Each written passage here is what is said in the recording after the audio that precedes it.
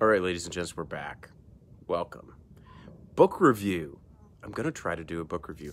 I've been wanting to tell you about this book, to share this book with you and with you since I read it. I recently read it. I've been meaning to read it for years and I finally did it.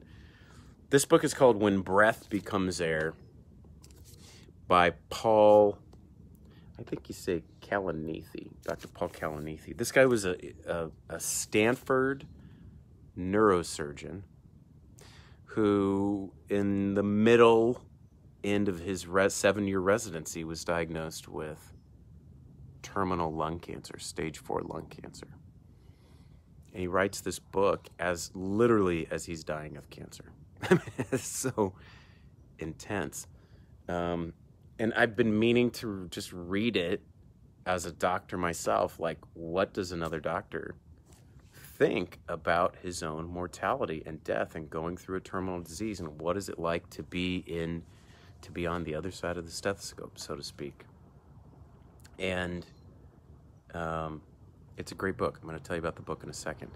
When I hit 39, uh, I'm 41 now, so a couple years ago, so before 40, the midlife crisis came in.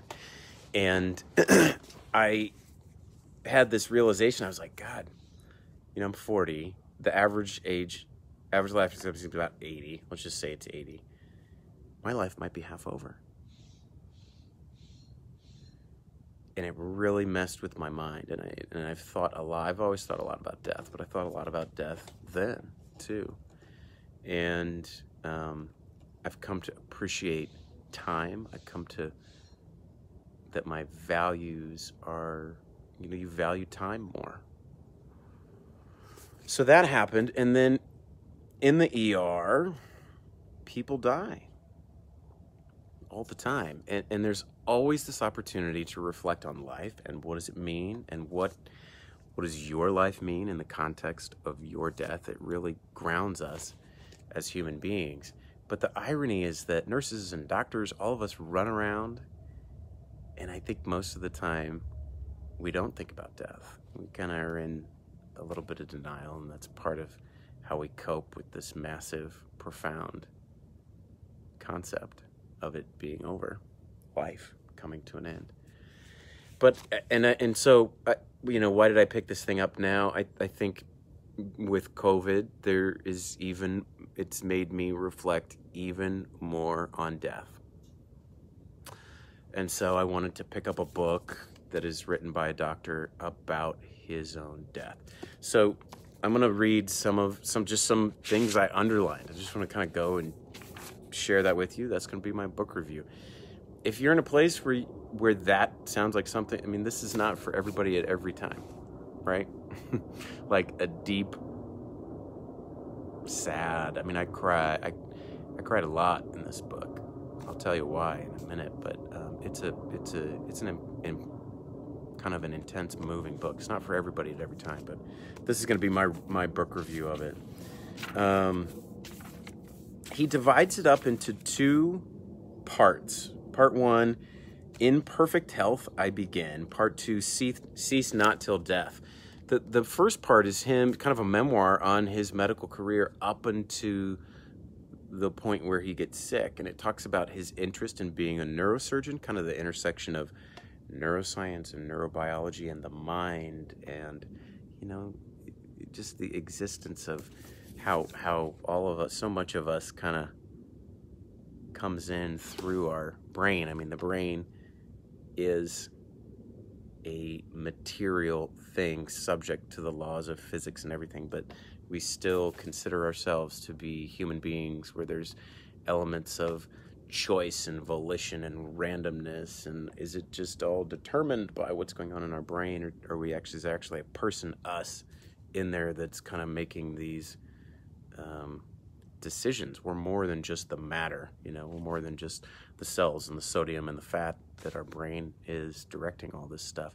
Anyway, it's it's fascinating to part 1 he goes through his what interested him in medicine and and and kind of who he was before this illness. which the most fascinating parts of all of it is when he gets deep on his patients dying and he starts philosophizing on that and there's such a build up through the first part of the book it's just i sat there and i was like wow he has all these reflections on the death of his patients and i was like what about your own death?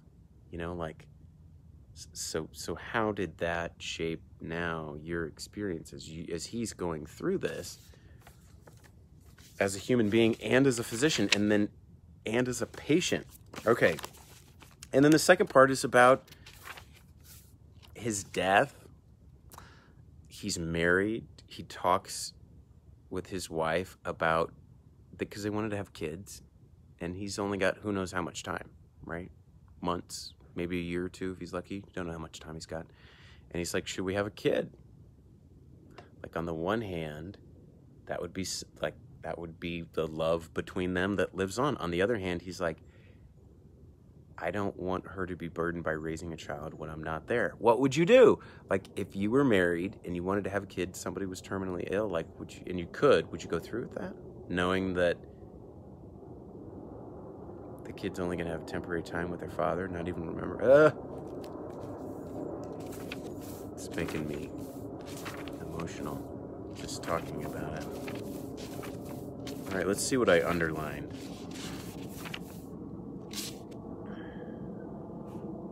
It's very easy to be number one. Find the guy who is number one and score one point higher than he does. He's talking about if that was the price of medicine, it was simply too high. He's talking about his father, who was a doctor who worked too much. And he ended up turning to medicine himself. The most intoxicating thing I'd ever experienced by far was the volume of romantic poetry she'd handed me the previous week. And so he talks about his love for literature and writing. And so he ultimately, like, this was kind of a, something he always wanted to do, was write this book. I was driven less by achievement than by trying to understand in earnest what makes human life meaningful. Coming from somebody who's dying of lung cancer. I'm just going to share these kind of random things I underlined and, and reflections. If the unexamined life was not worth living, was the unlived life worth examining? That's that Thoreau quote. Um, the unexamined life is not worth living. As a writer, uh, I really appreciated his writing because it was clear and it wasn't too flowery. He wasn't like writing and like demonstrating like, "Oh, look at me, I'm a great writer." He had a, a way of communicating what he was feeling and his ideas that really Were made it kind of tangible for the reader. That's like that's good writing, you know. Um, I studied literature and philosophy to understand what makes life meaningful and studied neuroscience and worked in an fMRI lab, functional MRI lab, to understand how the brain could give rise to an organism, us, capable of finding meaning in the world. It's crazy, right? Like at some point, we went from lizards to mammals to apes to this meaning being that we are. And he was fascinated by that. I love that stuff. He became a neurosurgeon. Hadn't Whitman himself written that only the physician could truly understand the psych, the physiological, spiritual man? You know, this dual we're animals. We have a, a body, but then we also have these additional parts of us that are spiritual and, and emotional, and there's more to us than just the bodies. Page 43. I find myself increasingly often arguing that direct experience of life and death questions was essential to generating substantial moral opinions about them.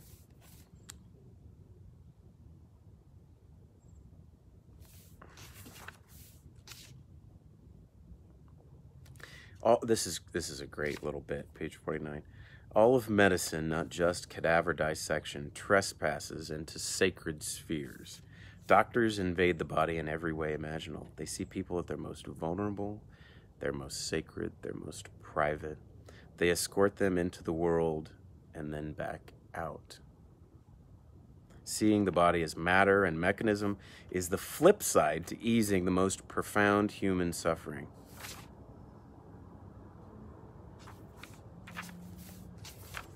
Nuggets.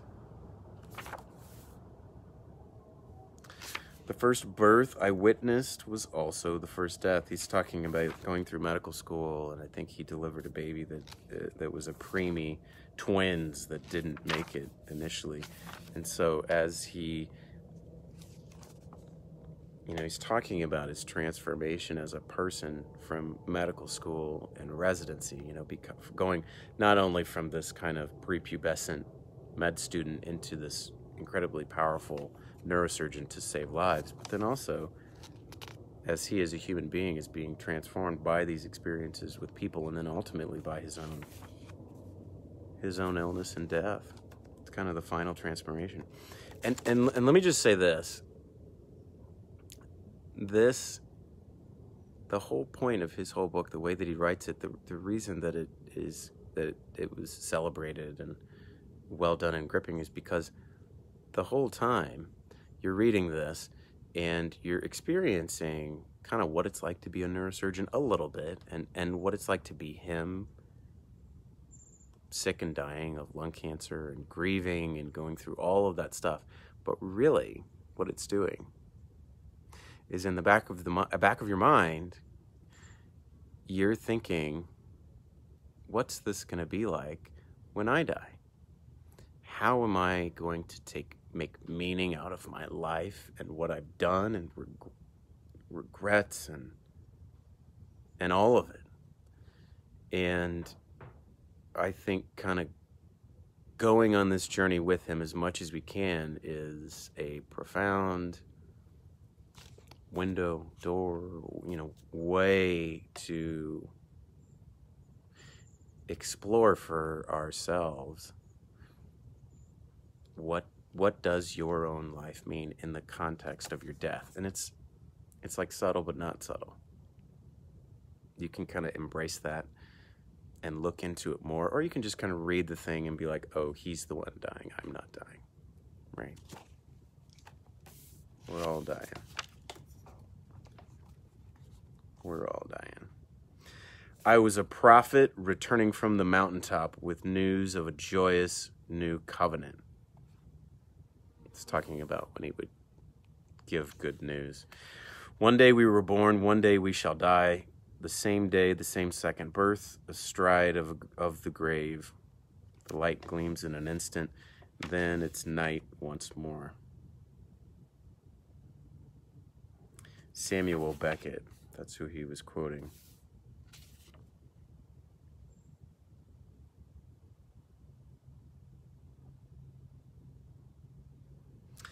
Talking about making tough decisions in medicine. Surely intelligence wasn't enough. Moral clarity was needed as well. Somehow, I had to believe I would gain not only knowledge, but wisdom too. After all, when I'd walked into the hospital just one day before, birth and death had been merely abstract concepts. Now I had seen them both up close. I like his, you know, we don't use the word moral a lot, but I really like the way that he reminds us of the importance of who we are and decision making.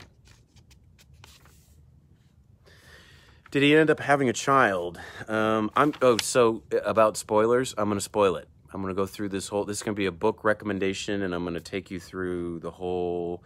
I'm on page 69. There's 220 pages on here. So if you don't want a spoiler, then you you should not do this at some point. But but that's the whole you know going into this book that he dies. The book was published posthumously after he died. So and and we'll see as we kind of go through this a little bit and work our way through it.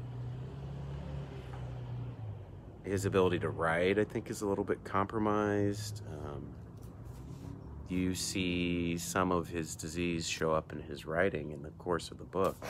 Um, I think t- I think he died. This was I think he died in 2015, like maybe five years ago, and it was published a year or two after he died. His wife kind of continued with it. Published in 2016. I think he died in 2015, but that's not a spoiler. That's known. I mean, this is a. Let me see if I can tell you. I mean, it was his wife writes an epilogue um, that will bring you to your knees. it's just terrible. It's really, really sad.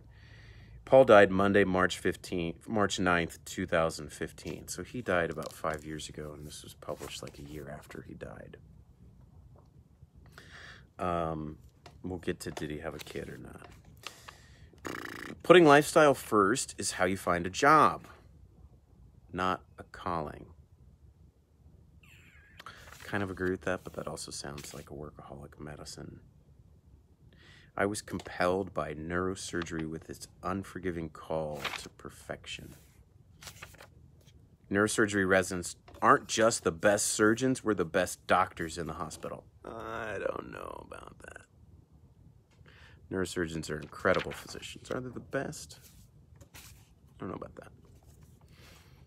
I lost my first patient on a Tuesday.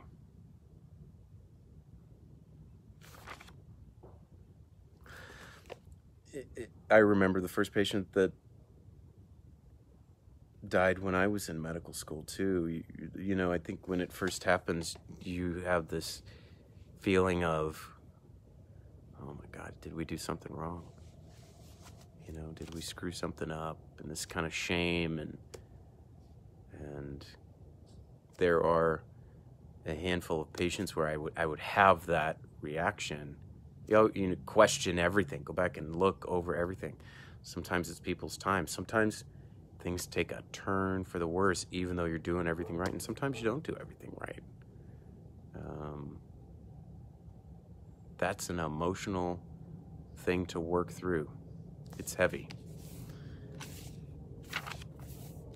So he starts talking about, again, he's still in his development as a med student and as a resident. He's talking about his, you know, beginning experiences with death, especially with the responsibility of caring for people in that time and the burden of that.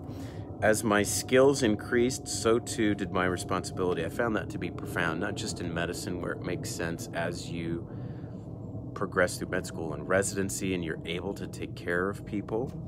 Um, you get more responsibility, but that's kind of a true thing in life, right? As you can do more, you should.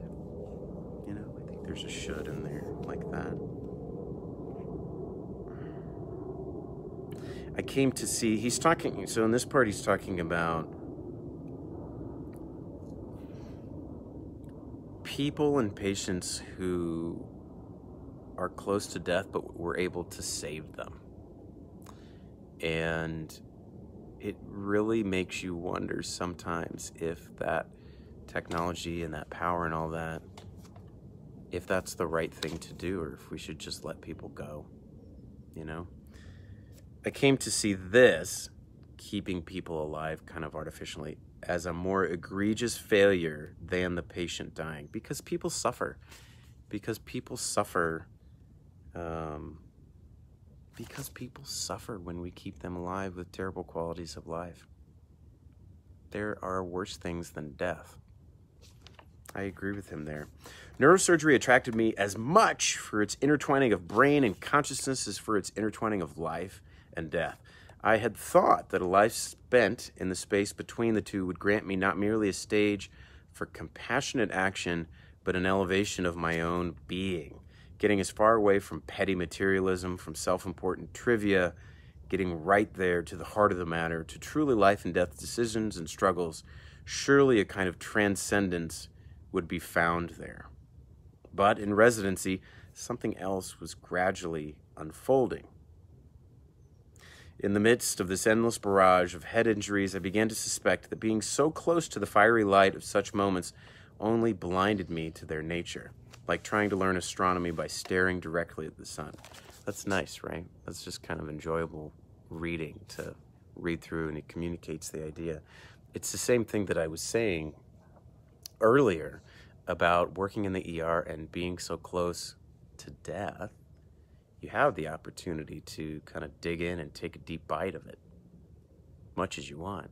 But I think a lot of us kind of do this. The patient is the one with the disease. They're the one dying, even though we're sort of in the same boat eventually.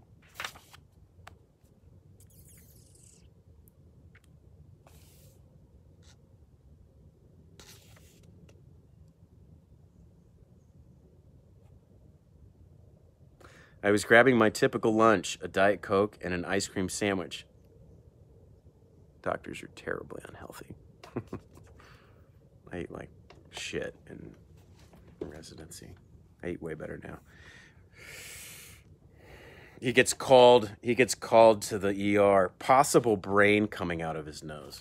Crazy, right? Like who lives a life where that's a normal thing in your day? I don't, I've never seen brain coming out of somebody's nose, by the way. My time in the ER, I don't work in a trauma center. After 30 minutes, we let him finish dying. With that kind of head injury, we all murmured in agreement death was to be preferred. Again, like, it's building. The more that he reflects on this and is talking about it, the more I'm like, what does he think about his own death? For those of you that have joined, I'm doing a book review, When Breath Meets When Breath Becomes Air by Dr. Paul Kalanithi, who um, was a neurosurgeon at Stanford who wrote this um, as he got terminal lung cancer in the middle of his residency. And so this guy is dying and he's writing this book about his life and all these reflections. And it's great. All of my occasions of failed empathy came rushing back to me. The people whose suffering I saw noted and neatly packaged into various diagnoses, the significance of which I failed to recognize. It's really easy to get um, stuck in just being clinical and not allowing some heart and soul to feel people, to feel their stories, to understand the context of who they are and what it means to them when they die in their own story or when their family member or loved one dies. And it's no surprise that as he's going through his own treatment as a patient, that he's seeing that he's seeing this differently. Utterly missing the larger human significance. I feared I was losing sight of the singular importance of human relationships, not between patients and their families, but between doctor and patient. And there's no place for the scalpel. Words are the surgeon's only tool. So true for so many of us when we can't fix it. The families who gather around their beloved, the beloved whose sheared head contains battered brains, they do not usually recognize the full significance either. This is the profound stuff. This is this life and death profound stuff that I'm talking about, and he digs a lot of it out.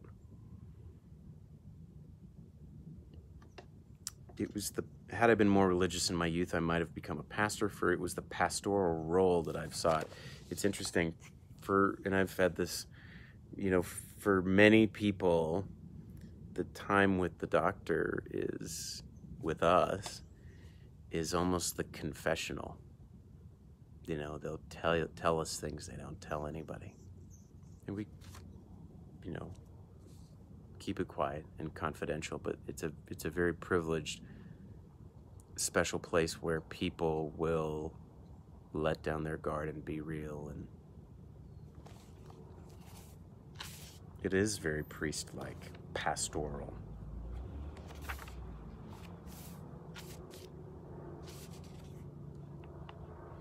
He's talking about brain cancer, which is not the kind of cancer he had. He had lung cancer. Cancer in the brain suggests death within a year, maybe two. And and this is another one of these like every time he says one of these things, I'm like, what do you think about that? like, what do you think about that now, having been somebody with cancer and a patient? Um, when talking about how to give this bad news, how to break this bad news to a patient, he says, it's important to be accurate, but you must always leave some room for hope. It's so that's it's so true. It's such a balance of I'll have these times when people will just straight out ask, Doc, how much time do I have? Sometimes you don't know. Sometimes you know it's not long. And it's a really difficult thing to balance talking about because people can get flat out depressed but um, but I agree with him you know especially when you're asked you have to tell the truth and be honest about it but in that there is always positive to focus on. And one of the positives that I always tell people, especially when they don't have very much time, is you've got time. People die, drop dead of heart attacks, sudden cardiac arrest, out of the hospital, and they're gone. We don't get them back. You know, people can die all of the sudden. As sad as it is for folks who do have two, six months a year, you've got they've got more than some people who just go. Um, in the middle of the incredible loss and all of that, that is something to be thankful for and to take advantage of.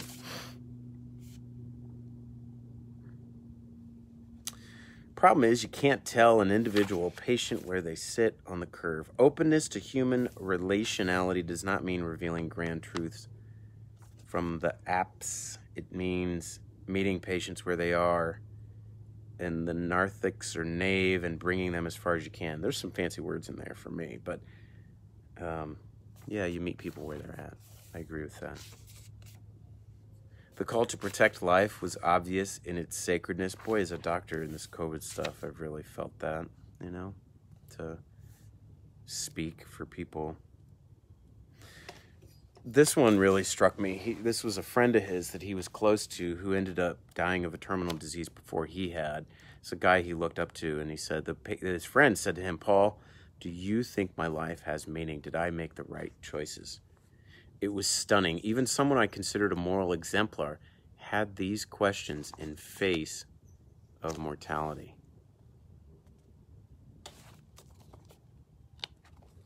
Again, like this is the guy talking who's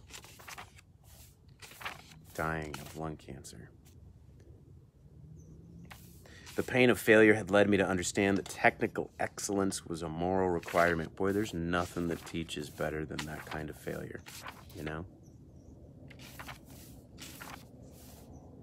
Um, I'm going to get through this and then we could do a little chit chat with some questions or comments for you guys If you're just joining, I'm doing a little book review, trying something fun and new.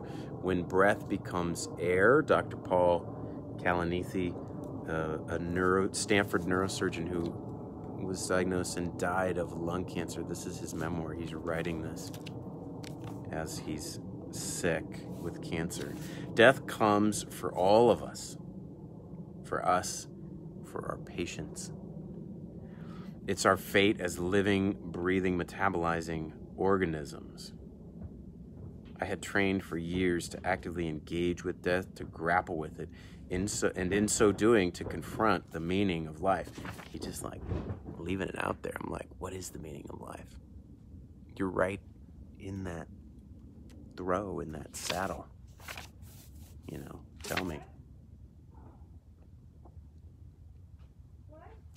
Now he gets into, so this is page 120, and he starts to talk about he was diagnosed. He had had, you know, he's in the middle of residency, working a ton. And he had lost a ton of weight. I think he said he lost like 40 pounds or something ridiculous. if you have that much, if you have unintentional weight loss, it's such a big red flag.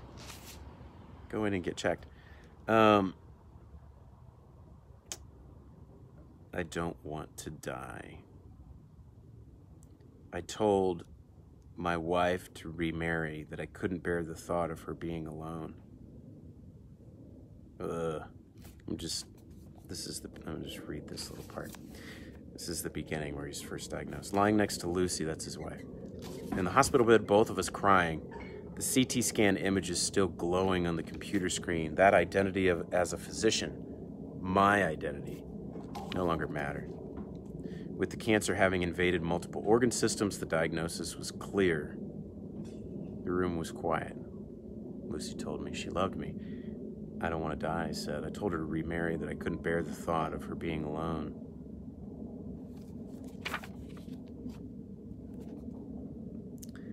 I'm never coming back to this hospital as a doctor. One chapter of my life seemed to have ended. Perhaps the whole book was closing. Severe illness wasn't life altering, it was life shattering. My carefully planned and hard won future no longer existed. Death, so familiar to me in my work, was now paying a personal visit. So he goes to meet his oncologist and he says, basically he wants to know his how much time he's got. What's his prognosis? I want to talk about the Kaplan-Meier survival curves. No, absolutely not. I don't know if I agree with that. I don't know if I agree with that. I think she should have given him some basic numbers. And then he says things like this that just tear my heart out. I sat staring at a photo of Lucy and me from medical school, dancing and laughing. It was so sad, these two planning a life together. Unaware, never suspecting their own fragility. Uh, it's making me tear up.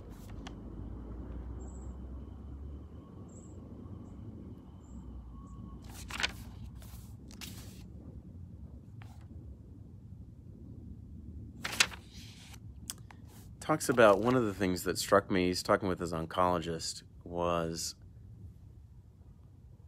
I mean, this is the question to all of us. If you got uh, a terminal disease like this, what would you what would you do? If you had six months, a, a year, a couple years, and he's talking to her about working, and the oncologist, her guidance was, is it important to you? You know, you're gonna find your own values through this. How important is it to you to work? I feel like the answer is stop working, travel the world, live the bucket list. And what he did was he finished his residency. Got back in the OR. He got responded to a treatment. He, you know, for many months. I began to realize coming in such close contact with my own mortality had changed both nothing and everything. Before my cancer was diagnosed, I knew that someday I would die, but I didn't know when. After the diagnosis, I knew that someday I would die. After the diagnosis, I knew that someday I would die, but I didn't know when. But now I know it acutely. The problem wasn't really a scientific one. The fact of death is unsettling. But there's no other way to live.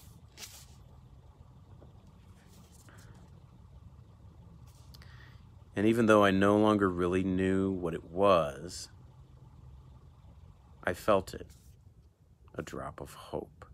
Any part of me that identified with being handsome was slowly being erased, though, in fairness, I was happy to be uglier and alive.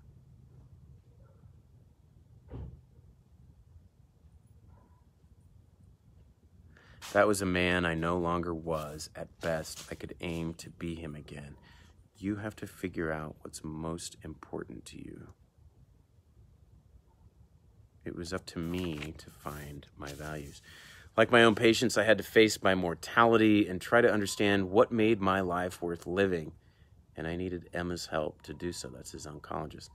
Torn between being a doctor and being a patient, delving into medical science and turning back to literature for answers, I struggled while facing my own death to rebuild my own life or perhaps find a new one.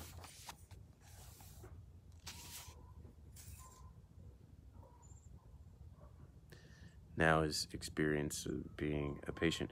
When you get an IV placed, for example, you can actually taste the salt when they start infusing it. That's why you call it normal saline. They tell me this happens to everybody, but even after 11 years in medicine, I'd never known.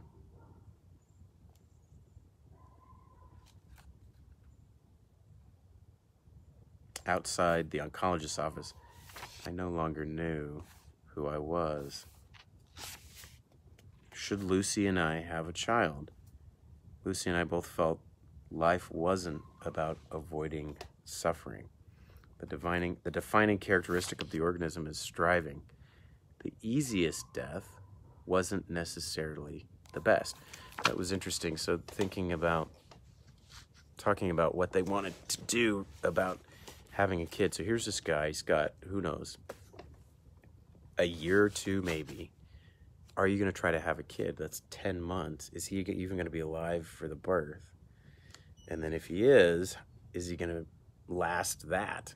Is he going to last past that? Um, God, that's intense. In making a decision of should we have a child or not. Duh, I lost my page. Where was I? Spoiler. They decided to have a child. There had been a clear, dramatic reduction in tumor burden, so he got better. Even though he's got stage four lung cancer, it had spread, he got on the best treatment and it got better.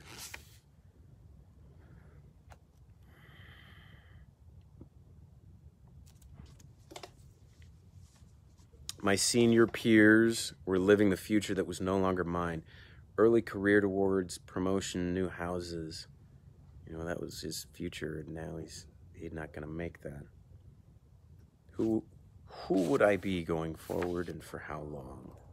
Hemingway described his process in similar terms acquiring rich experiences, then retreating to cogitate and write about them. I needed words to go forward.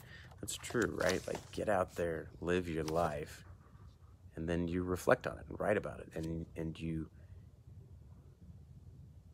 you make the significance. You understand the meaning and the significance in it. That morning, I made a decision I would push myself to return to the OR. Why? Because I could, because that's who I was, because I, I would have to learn to live in a different way, seeing death as an imposing itinerant visitor, but knowing that even if I'm dying, until I actually die, I'm still living. So he went back to work. He spent his last months, act, you know, able bodied months, working as a neurosurgeon.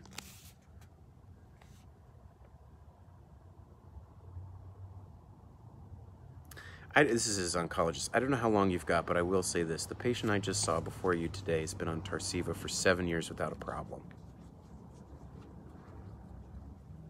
Looking at you, thinking about living 10 years is not crazy. You might not make, but it's not crazy. Uh, I, seven years, 10 years, that's like less than 5%, you know? I think that's too much fancy talk. I don't know what you guys think about that. I think that's, I don't know that I would say that. That's too much. I think that's false hope. Just my opinion.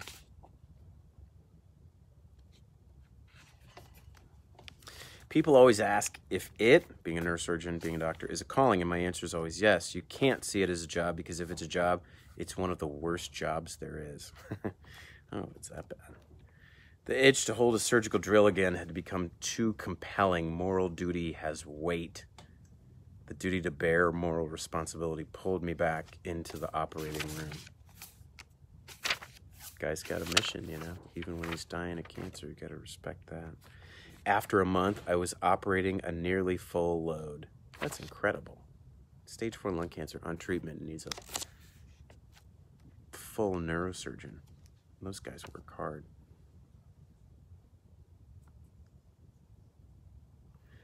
I ended my days exhausted beyond measure, muscles on fire, slowly improving, but the truth was, it was joyless. Wow. Another stable scan six months after diagnosis passed. I might have several years left. It seemed the career I had worked for years to attain, which had disappeared amid disease, was now back in reach. I could almost hear trumpets sounding a victory fanfare. You know, these remissions. People get cancer, especially a lot of cancer is curable. Stage one, two, breast, for example. These stage four cancers are a lot trickier. It all depends on which cancer it is. Some are certainly worse pancreatic than others. But with many kinds of cancer, you get treated and the cancer gets better, it shrinks, it goes away. That's called remission when it goes in the right direction and people and, and the cancer responds to the treatment. And so here he is. And he's responded for, it sounds like months, maybe a year. Cancer went away, undetectable just like incredible. And then the human mind gets back to living. And I'm not suggesting he's he's taking things for granted, but it gets back to I mean, none of us get out alive, and I think with that stage four lung cancer, it's terminal. It's still it's not curable. I wouldn't rain on his parade, but you know, he talks about in this book, he was feeling better, he was doing better, he's getting near the end of his residency, and then he started thinking about jobs and other places and this and that, and it's.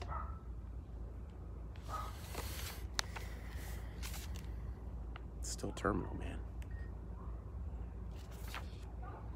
You're finding your values. That's not easy. I was suffering, but I was fully back. It's how he wanted to live. You got to respect that. Your values are constantly changing. You try to figure out what matters, you keep figuring it out. Death may be a one time event, but living with terminal illness is a process. On diagnosis, I'd been prepared for death. The way forward would seem obvious, only if I knew how many months or years I had left. Tell me three months, I'd spend time with family. Tell me a year, I'd write a book. Give me 10 years, I'd get back to treating diseases. The truth that you live one day at a time didn't help. What was I supposed to do with that day? It's so true. Practically matters. Yeah, if you've got three months, what would you do? How would you live? Be very different than if you've got a year, and it's different how most of us live, which is assuming we've got until 80, 90, or 100. It was helpful for me to hear him struggle with his own prognosis. Now, finally, maybe I had arrived at denial, maybe total denial. Yeah, there's definitely some denial in his thinking in this book, you can see.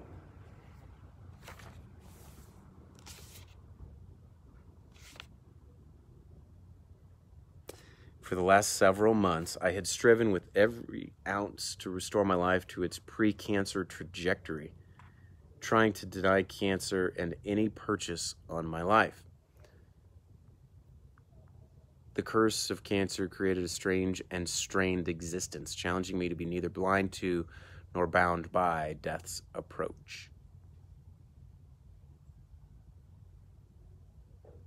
Where was the place I wanted to plunk the remainder of my chips. Plunk. Good word. When my notion of God and Jesus had grown, to put it gently, tenuous. You know, near the end of the book, he talks about God and religion, and to be honest, and and and you know, he had somewhere in here. Let me see.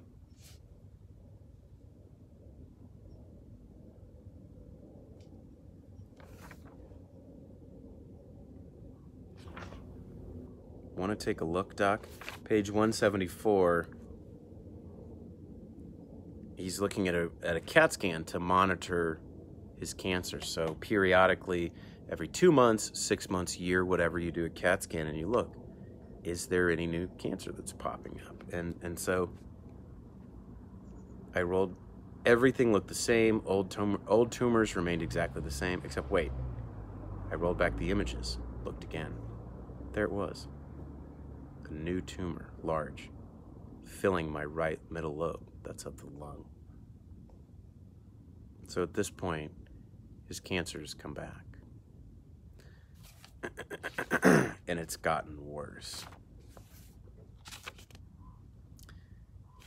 Goes through, continues to work, and he starts to come to realization that he's probably getting close.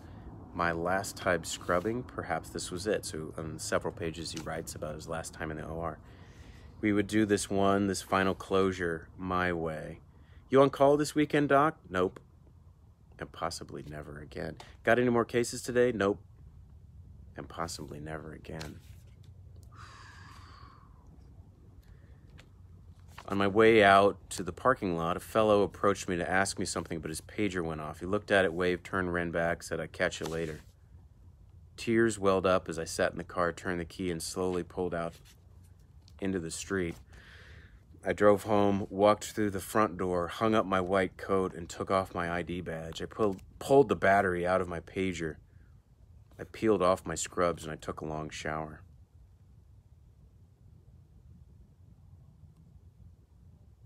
It's just emotional hearing him talk about his last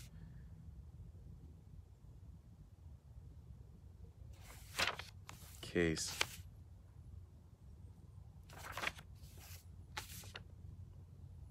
Talks about getting sicker, weak on cancer, kidney failure,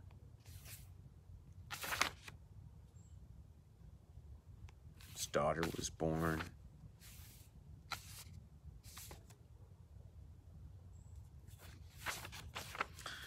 It's a tired hare who now races. I am a neurosurgeon. I was a neurosurgeon, or I had been a neurosurgeon before and will be again.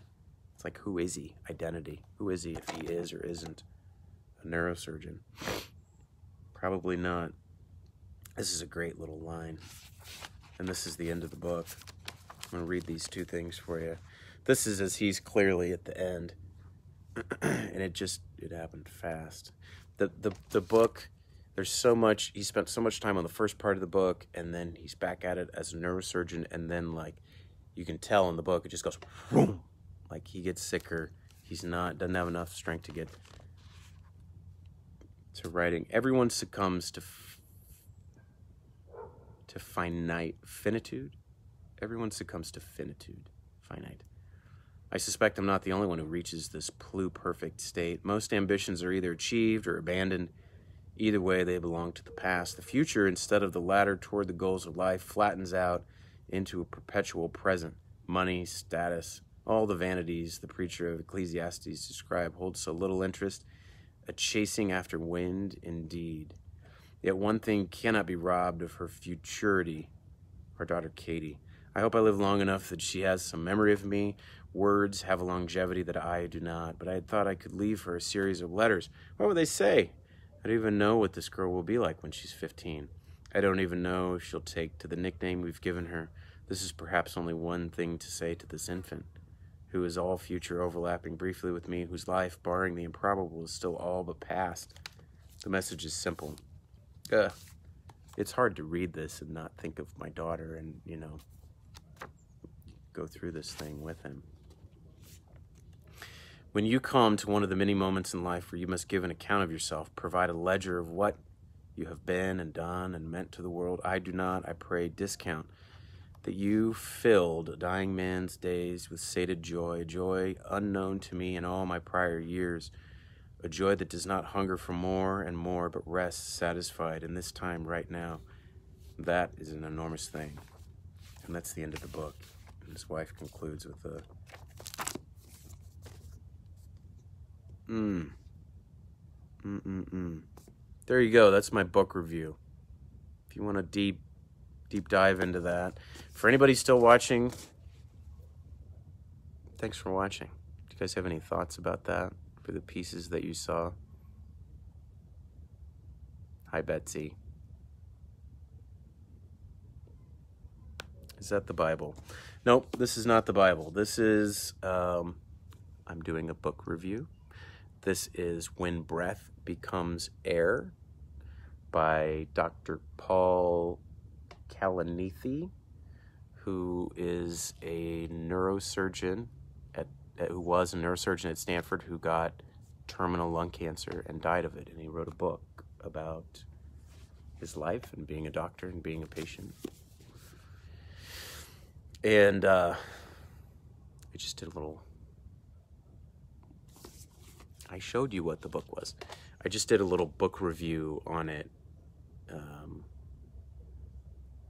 recommending the book if you're in the right place to listen to a doctor talk about life and death as he is, literally as he is dying over the last couple years of his life. I need a copy. Yeah, if you know, I I had heard about this book for years and wanted to read it. Came kind of, I think, in the doctor medical world, there's a handful of books that a lot of people really like and enjoy, and this is one of them. Um, I initially kind of picked it up and put it down a couple times, and then once I got into it, and he kind of built up. Who is that kid up there? and he kind of built it up. Um, I I couldn't put it down. I read it in a pretty much a day. So if you're looking for a deep book, here it is. There you go. That's my book review. What do you guys think about that? What else is going on? Yeah. All right. If you guys don't have anything else, I will wish you his daughter may not have memories of him, but can read this and know he was a man of service, an amazing person. Yeah, it's a legacy for her. It tells certainly tells her about who her father was, and um, I mean, so let's see. She she was born. He died in 2015. I think she was born in 14, so she's like six now. Um, you know, what would it be like to be her, not know him very well, read the book, know, get a sense of who he is. Can't believe he went back to work. That's wildly noble. Yeah, he, you know, I, initially I was, when I read that he went back to work, I was like, you're crazy. Work's going to kill you. And, and you should be spending time with family, you know, or people or, or I would probably work a little bit too. Um, yeah you have to find your values. It, you know, uh, so many of these lessons from this book, he had to find his values throughout what's important to him throughout his illness and death. It's no different for us in life. What's important to us now and how we live. And I think about that for me. God, what would I do? Something like that. I don't know if I would still do as much as I do now. Maybe something different. Such a great book. Ordering now. Thank you. Check it out. If um, check it out if it resonates and if you like that kind of thing. Uh, he he is a says finalist for the Pulitzer Surprise Pulitzer Prize. It's well written. It's very readable. Um, yeah. Yvonne, it's a good time to read a book on this subject. His daughter made him happy. Yeah, I think, I, I think at least for him at the end, his daughter brought an incredible amount of joy. I'm sure it wasn't easy for his wife to raise that girl without him. Um, So check it out. Guys, so hot. All right, I'm to go. For those of you that stuck around, mm, thanks for um, thanks for being a part of this. Have a good uh, have a good evening. and um, catch you next time.